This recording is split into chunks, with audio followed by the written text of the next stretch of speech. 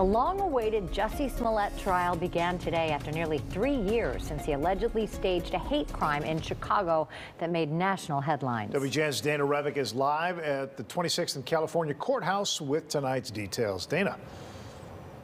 Well, it was a very long day here in court that dragged into the evening. 12 jurors have now been selected with two alternates uh, for this trial. And then opening statements began this evening, hearing from both sides. The prosecution saying that testimony from key witnesses will prove that Jussie Smollett staged this hate crime uh, against him, while his attorney says that this was a real attack and that he is a real victim. A jury chosen in the Jussie Smollett trial. They will determine the fate of the former Empire actor charged with six counts of making false statements to police in connection with an alleged hate crime he reported to police in January 2019.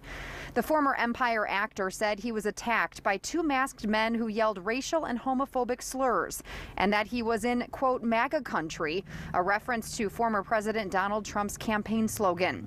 During opening statements, Dan Webb laid out a timeline where he said Smollett met with the men who carried out the attack, the Osundairo brothers, telling them that he did not want to get seriously hurt, but for them to bruise him up a little bit, and that he would pretend to fight back. He wanted them to put the rope around his neck like a noose so it looked like a hate crime.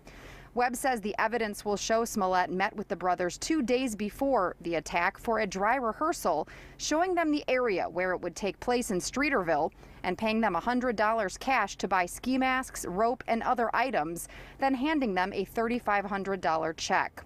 Smollett's attorney, Nenye Uche, said in court tonight, quote, This has been a tremendous rush to judgment by various police officials that has destroyed Jussie's life, destroyed his career, and has turned him into a pariah.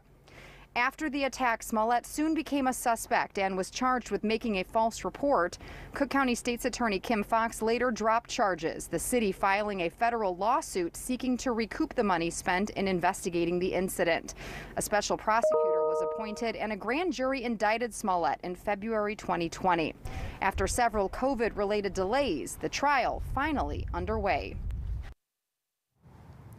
The jury, which is evenly split between men and women, was dismissed at 6:45 tonight. They're expected to be back here at 9:15 tomorrow morning. This trial expected to last through the week. Live outside the Leighton Criminal Courthouse, Dana Rebik, WGN News. Thank you, Dana, and stay with WGN for full coverage of the trial. You can also get updates on the go at WGNTV.com and through our free WGN mobile news app.